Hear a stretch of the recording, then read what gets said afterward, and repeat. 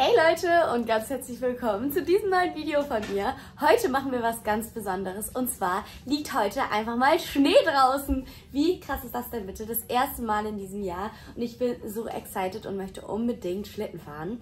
Tom und ich starten jetzt aber erstmal ganz entspannt in den Tag und frühstücken jetzt erstmal zusammen und dann muss ich irgendwoher mir einen Schlitten organisieren. Mal sehen, ob das klappt. Ich nehme euch heute den ganzen Tag mit. Das wird einfach so ein Steilvlog im Winter. Peel the avocado. Peel the avocado. Wir machen jetzt erstmal Guacamole. Guacamole. So, so nice. Eigentlich müssen wir heute so Schneebilder machen, Tom. Ich decke jetzt schon mal den Tisch. So sieht unser Frühstück jetzt aus. Dann koste mal deine Avocado. Oh, Alter, war das knapp. Das war das ganze Glas umgefallen. Leider habe ich es nicht mit drauf, aber dein Blick. Machst du dir jetzt Butter unter die Avocado-Creme? Nächstes Mal mache ich Philadelphia und die leckere Avocado-Creme. Das sind zwei Avocados, ein paar Tomaten und Limette und Guacamole-Gewürz. So nice. Excited. Schmeckt gut. Mhm. Und jetzt probiere ich auch mal deine leckere Guacamole. Ich will ja auch unbedingt mal dieses Stullengewürz probieren, weil das habe ich irgendwie nie probiert, weil ich dachte, das wäre nur für Stullen. Aber jetzt habe ich verstanden, dass mit Stullen einfach Brotgewürz gemeint ist. Das Ach kann so. einfach so. Also so habe ich es jedenfalls jetzt verstanden, glaube ich. Und dann ist Irgendjemand, wieder falsch. irgendjemand hat das letztens im Schrank gesehen und meinte, boah, wie geil, das ist voll lecker.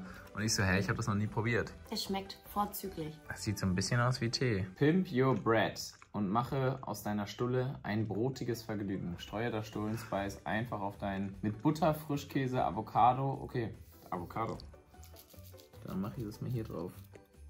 Ja, kann man machen. Die Guacamole ist halt an sich schon sehr geschmacksintensiv, deswegen schmeckt das gerade noch nicht so richtig krass. Aber das, was ich schmecke, schmeckt ganz gut. Und? Probier mal. Die sind halt schon seit einer Woche geöffnet. Bei unter plus 7 Grad ungeöffnet, mindestens haltbar bis 11.12. Da steht halt ungeöffnet, deshalb, mh, ich tue hier mal schön viel Senf drauf. Dann schmeckt man das gar nicht, meinst du? Ja, genau. Also der Senf ist noch gut.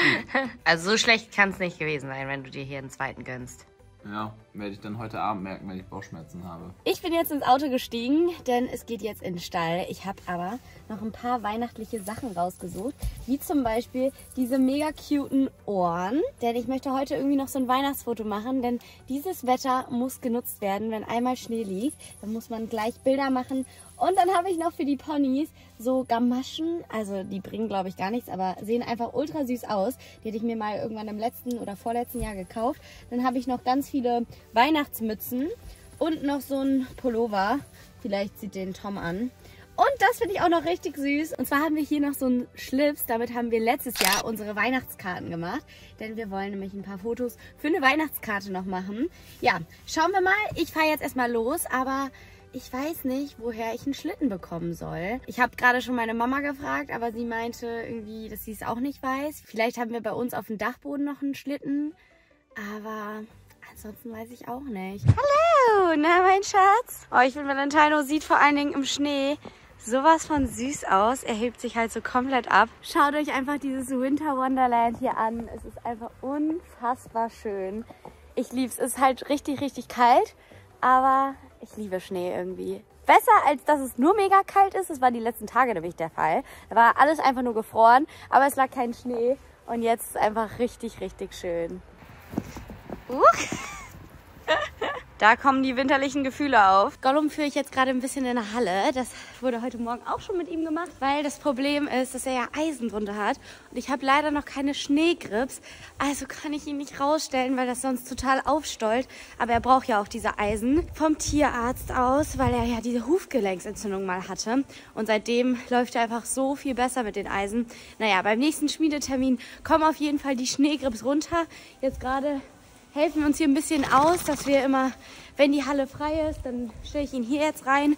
Dann haben wir ja Gott sei Dank auch noch ein Laufband bei uns im Stall, dass er auf jeden Fall ausreichend Bewegung bekommt. Zum Glück sind das ja auch nur ein paar Tage im Jahr, wo es so kalt ist oder wo es schneit. Letztes Jahr hatten wir zum Beispiel gar keinen Schnee. Ich glaube, das reicht jetzt auch mit dem Führen. Ich will nur nicht, dass er aus der kalten Box quasi direkt losbockt. Aber er ist eigentlich echt entspannt, weil er halt eben ausgelastet ist, weil er so viel geführt wird. Und später reite ich ja auch noch. Willow darf jetzt auch dazu. Ich bin einfach richtig froh, dass wir so eine schöne Halle haben, wo die Pferdchen sich ausgiebig bewegen können. Und dass wir die vor allen Dingen hier auch freilassen dürfen. Das ist ja auch nicht in allen Hallen selbstverständlich. Schaut mal, wer jetzt noch gekommen ist. Hella, 10 Euro, wenn du in den gefrorenen Teich springst. Ich spring da nicht rein, aber ich würde da drauf gehen, wenn der komplett gefroren ist. Ja, probier's. Okay, hier sieht es ehrlich gesagt nicht so gefroren aus. ich gehe zur anderen Seite. Oh, leider ist es noch nicht so doll gefroren. Aber wenn es noch kälter wird, wäre es ja so witzig, wenn man hier drauf dann Schlittschuh läuft. Ja, stell es vor. Ja, mini klein Ja, ist das zum. Schlittschuhlaufen. Aber wie witzig wäre das, um steil Schlittschuh laufen? Ja, jetzt lass mal die Fotos machen. Erstmal Schnee essen. Dann holen wir ihn mal und machen ihn mal fertig. Dieses schöne Halfter habe ich nämlich mitgebracht. Sieht auch richtig schön weihnachtlich aus, finde ich. Weihnachtlich? Das Ja, ist einfach braun. Aber es passt zur Weihnachtszeit. Ja. Aber es passt wahrscheinlich auch zu jeder Zeit. Guck mal, Valentine ist jetzt auch mal gekommen. Hallo! Oh, er ist so süß. Er sieht einfach aus wie ein kleiner Teddybär. Tom, wie machen wir das eigentlich mit den Bildern? Wir sollen doch beide da drauf. Ja, ich habe ein Stativ mit. Ah, okay. Ja, das ist doch gut. Da müssen wir mal rennen. Einer drückt Oh drauf. nein. man schnell Der andere hält dann beide Pferde fest, oder was? Ja. Ach, das kann ja was werden. Alles für die perfekte Weihnachtskarte. Ich habe das hier jetzt dran gemacht, diesen Haarreifen. Wir haben das ganz praktisch und zwar kann man das hier so aufmachen, dann so ein Mähngummi hier einfach zweimal drum und dann auf beiden Seiten befestigt, diesen Haarreif quasi da durchgesteckt und jetzt hält es. Super. Bombenfest. Ich glaube, er versucht es abzubekommen. Hammer schön, oder? Das sagt ihr. Wundervoll. Dann Oder hol mal das große Rentier. Jetzt machen wir das gleiche nochmal mit Gollum. Jetzt zeige ich euch nochmal den Lifehack anhand von Gollums Halfter. Und wenn der Trick genauso gut bei euch auch funktioniert, dann lasst mir gerne einen Daumen nach oben da. Und jetzt machen wir das einfach hier so durch. Und die andere Seite kommt natürlich auch noch. Bei Valentinos Halfter hat sogar noch ein bisschen besser funktioniert, weil sein Kopf einfach ein bisschen kleiner ist. Und dann hole ich mal Gollum. Kamera ist aufgebaut und wenn man jetzt hier mal drauf drückt, sieht man Hella und die beiden Rentiere. Und da hinten stehen sie. Jetzt müssen wir es nur noch irgendwie hinkriegen, dass ich innerhalb von 10 Sekunden darüber renne, den Auslöser hier drücke und die Pferde dann auch noch richtig stehen. Naja, wir probieren es mal. Also, was ist passiert? Vom Baum wäre irgendwie Schnee hier hingekommen, ne? Siehst du das hier? Ja. Und dann mache ich das so weg und dann ist es Vogelscheiße. Ih, sitzt da irgendwo ein Vogel oder Oh nein! Dass mir immer sowas passieren muss, ist für mich einfach frech. Äh, das Bild ist auf jeden Fall schon mal nichts geworden. Ich war zu langsam. Aber so ist gut, ja. Jetzt nochmal ein Querformat für die Weihnachtskarte. Lachen! Valentino hat jetzt noch einen Schlips umbekommen. Und ich hatte eine gute Idee. Wir fragen jetzt einfach Marley, dass sie Ja, die das Fotos ist besser. macht. Als dass du hier zehnmal hin und her rennen musst. Sieht das gut aus? Ja. Oh, er wurde schon wieder angekackt. Siehst du das? Hä? Oh mein Gott, ich kann hier länger nicht mehr stehen bleiben. Gleich, Wo bist du? gleich bekomme ich das auf den Kopf. Hier hat er auch schon Scheiße. Seht ihr das? Irgendwo sitzt hier ein Vogel. Der hat zu viel. Der hat, glaube ich, irgendwas mit dem Magen heute. Oh Mann, ey. Hä, aber wieso sieht man denn nicht? Den kleinen Frechen haben wir jetzt schon weggebracht und jetzt mache ich noch ein paar Standbilder nur mit Gollum, ne? Tom ist jetzt nach Hause gefahren. Ich werde jetzt mir Valentine schnappen, die fertig machen und mit dem Geschirr ausstatten, denn es geht gleich wirklich richtig los. Wir werden heute noch Schlitten fahren, aber wir sollten uns ranhalten, weil es jetzt auch schon wieder langsam dunkel wird. Um 16 Uhr geht nämlich die Sonne unter. Ich habe mir gerade noch Folgendes überlegt und zwar bestellt Tom ja jetzt gleich Karten, also einfach Weihnachtskarten für Freunde und Familie. Ich meinte aber, er soll noch ein paar mehr mitbestellen für euch. Also falls ihr was in meinem Online-Shop oder auf hoppigaloppi.de, falls ihr dort das Spiel bestellt, kriegt ihr eine unterschriebene Weihnachtskarte von mir mit dazugelegt. Das habe ich mir jetzt gerade so spontan überlegt. Ich werde das Tom gleich nochmal sagen und dann hoffe ich, bestellt ihr die. Und dann kriegt ihr, also alle, die vor Weihnachten noch was bestellen, kriegen dann eine Weihnachtskarte mit dazu. So, jetzt hole ich die Pons und dann geht's los. Ich habe Valentino jetzt schnell mal fertig gemacht. Ich habe ihm hier sein Geschirr angelegt und habe an die Stränge noch Stricke gemacht, damit es einfach ein bisschen länger ist. Denn sonst würden wir direkt hinter ihm sitzen. Genau, Valentino. Kann losgehen, ne? Jetzt kommt jeden Moment Clara mit einem Schlitten. Clara hat jetzt die Stricke hier mal dran gemacht. Ja, vielleicht muss man eine Seite dann ein bisschen kürzer machen, sodass sie gleichmäßig lang sind. So, wir sind jetzt los. Clara hält den Schlitten noch, weil hier gerade nicht so viel Schnee liegt. Die meisten Menschen mit Schlitten würden jetzt sagen, da ist unsere Rodelbahn. Wir sagen, da ist unsere Ponybahn. Pony-Schlittenbahn. Und jetzt geht's los. Wir werden hier richtig abgehen. Clara sitzt ja schon drauf und es klappt richtig gut. Wow, Leute. Ich dachte so, ich muss mich jetzt hier einfach schnell mit draufsetzen. Jetzt. Ich fühle mich hier irgendwie sehr weit unten, tatsächlich. Oh, sieht hier richtig nach Winter Wonderland aus. Also Valentine macht das mega gut. Ist wahrscheinlich für ihn jetzt auch nicht so ein richtiger Unterschied wie zum Kutschefahren. Aber für uns ist es halt mega cool. Oh. Okay, Valentine, hier im Sand. Ich muss gleich nochmal irgendwie aufs Feld oder so. Weil. Oh, oh, oh. Ein Strick ist gerissen. Clara macht jetzt einen Doppel-Doppelknoten. Vielleicht hält das Ganze dann ein bisschen besser. Ja, Valentino, gleich geht's weiter. Oh, er ist so motiviert und süß. Ist hier einfach die perfekte Rodelbahn. Wirklich. Richtig geil.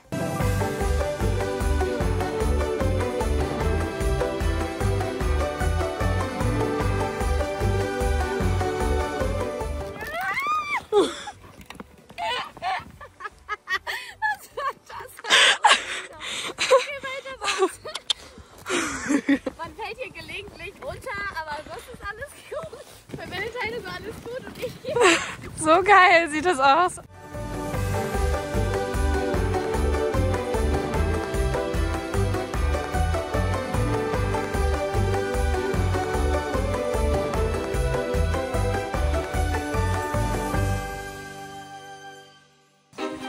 Brav.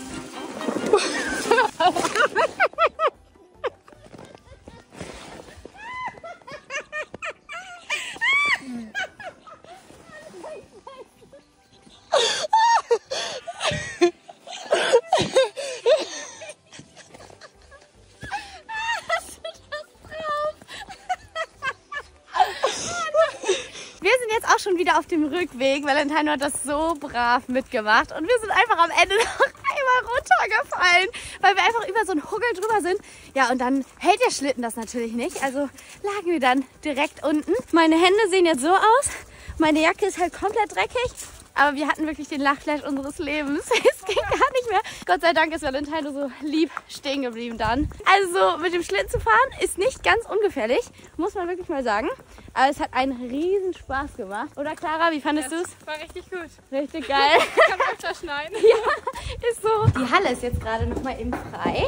Also darf Gollum da auch noch mal hier wieder ein bisschen frei bewegen. Willow hole ich jetzt auch noch mal dazu. Und dann haben die hier ihr riesen Paddock. Ich habe jetzt einmal kurz das Futter in den Eimer getan und werde das jetzt erstmal vorbereiten. Yummy, yummy, yummy. Es ist jetzt einfach schon fast 18 Uhr. Ich muss mich wirklich mal ein bisschen ranhalten. Ich habe mir überlegt, dass ich Gollum heute jetzt nur noch schnell longieren werde und morgen geht das Video dann weiter. Da will ich nämlich mit Halsring reiten und ein Special Guest wird auch noch mit dabei sein. Also freut euch auf morgen, dann geht's gleich direkt weiter. Schaut mal, wer da ist. Lucy! Endlich bist du wieder zurück. Aber nur für zwei Tage leider. Aber mega nice. Jetzt können wir gleich alle zusammen reiten. Ich sitze jetzt auf Gollum drauf. Ich werde meine Jacke gleich ausziehen. Deshalb hängt die hier jetzt gerade noch so offen. Ich ziehe die jetzt sofort aus. Ich habe die Steigbügel heute ein bisschen länger eingestellt. Das ist ganz angenehm, weil ich habe ja diese Dressurstiefel an. Und wenn ich die dann im Springsattel trage, irgendwie, ich wollte eigentlich die andere nehmen von mir, habe ich aber nicht. Und dann hatte ich schon diese Dressurstiefel an, wollte aber mit Springsattel reiten. Und das tut dann noch ein bisschen weh, weil die halt eben so neu sind. Ach so, und ich habe heute, das ist der Trick aller Tricks, ich habe einfach eine Leggings unter meiner Reithose an. Das ist echt praktisch bei diesen mega kalten Temperaturen, weil dann friert man nicht so an den Beinen.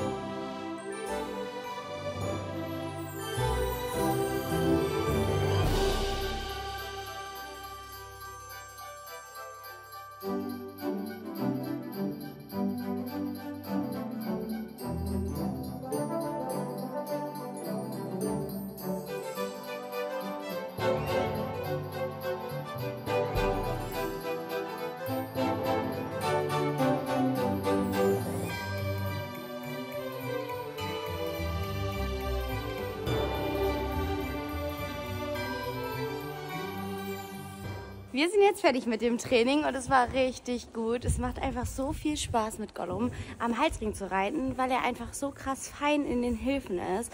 Und das macht richtig, richtig dolle Spaß. Ist halt richtig fein, ob es Wolken sind, ob es Mitteltrap ist oder was wir halt machen.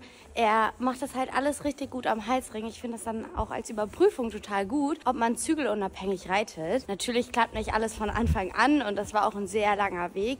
Ich meine, ich reite seitdem ich 14 bin mit Halsring. Da hatte ich meine erste Stunde an meinem Geburtstag, als ich 14 geworden bin. Seitdem bringe ich den Halsring auch in meine wöchentliche Arbeit irgendwie mit ein. Jetzt bin ich schon länger nicht mehr mit Halsring geritten, aber das sitzt dann irgendwann einfach. Natürlich fängt man ganz langsam an. Erstmal lässt man die Trense noch drauf und irgendwann laufen die dann richtig gut mit Halsring. Nach getaner Arbeit darf natürlich das Hinlegen auch nicht fehlen. Er kriegt dann immer diesen Leckstein und dann bleibt er so lange liegen, wie ich möchte. Das ist echt ganz praktisch und dann kann ich mich hier auch so draufsetzen. Ne, Gollum? Ich will hier gerade meine Sachen wegbringen und schaut euch meine Tasche an. Ich habe die aus Versehen hier hingelegt bei dieser Regenrinne. Ah, und jetzt ist sie einfach komplett nass. Johanna, ich habe jetzt eine Überraschung und zwar wollen wir jetzt Glühwein trinken. Also habe ich diese Tassen bestellt. Wie findest du die? cool, ne? Acht Reiter, Halter. Auf Cool. Wollen wir dann auch so reiten auf dem Pferd? Ja, genau. So. Also ich muss echt nochmal sagen, diese Tasse ist halt so nice. Hier steht vorne halt Hühwein drauf und auf der Rückseite Vorsicht hot. Ich finde die richtig cool. Das ist auf jeden Fall Gollum. Ja, Bambi. die sind echt. Die sehen halt echt aus wie die Bambi. sehen Und wirklich so aus. Vor allem, weil das auch so klein ist und so dick. Ich möchte, dass du mir eine zu, äh, zu, zu Weihnachten schenkst. Ich fülle jetzt noch Heu bei den Ponys auf und dann würde ich sagen, an dieser Stelle beende ich jetzt auch schon das Video. Ich hoffe, es hat euch gefallen. Lasst mir gerne einen Daumen nach oben da, darüber freue ich mich riesig. Und dann sehen wir uns nächste Woche wieder. Bis dann, ciao!